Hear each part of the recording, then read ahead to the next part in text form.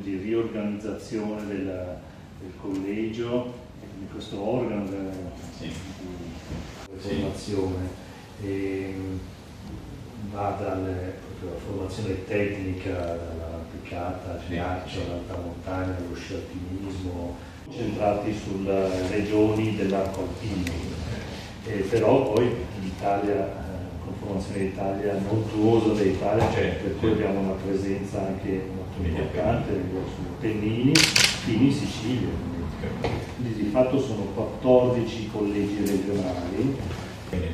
Il nostro è un ordine professionale eh, regolamentato da una legge appunto, che istituisce l'ordine. Dobbiamo sostanzialmente avere come obiettivo principale la tutela dell'incolumità delle persone che si affidano. E, ehm, proprio per entrare a far parte di questo collegio, di questo ordine, c'è necessità di avere dei requisiti che sono anche abbastanza stringenti, no? Sì, sì, abbiamo una, una formazione professionale eh, molto severa, insomma. Ci sono tante cose, tante idee, no? Sicuramente anche il Presidente o Marco ne avranno altrettante adesso appena ci vediamo sì sì no ma eh, scusate le domande che vi faccio sono domande generali che servono anche per eh, sviluppare la curiosità e quindi tentare di non entrare in, eh, in, in percorsi insomma in vicoli ciechi quando, quando c'è la possibilità di fare queste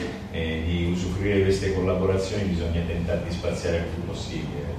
Quindi Bene, insomma sono veramente contento di questa, eh, di questa collaborazione e, mm, e, quindi è importante finalizzarla, ecco, la collaborazione. Grazie, eh, grazie ancora grazie. di questa collaborazione e spero che sia molto molto eh, fruttuosa, insomma, che si arrivi a delle cose interessanti.